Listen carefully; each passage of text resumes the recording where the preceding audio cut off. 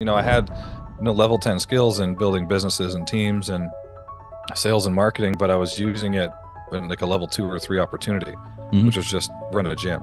Yeah. Right. As opposed to, oh, I could teach this to other people. Right. There, Yeah. There's your level 10 skill has to align with a level 10 opportunity.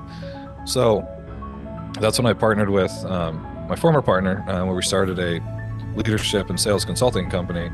Um, actually, it started out, we started at his little dinky, our little dinky gym, Mhm. 1,100 square feet in downtown Las Vegas. We actually scaled that to doing about $200,000 a month just in that little small place.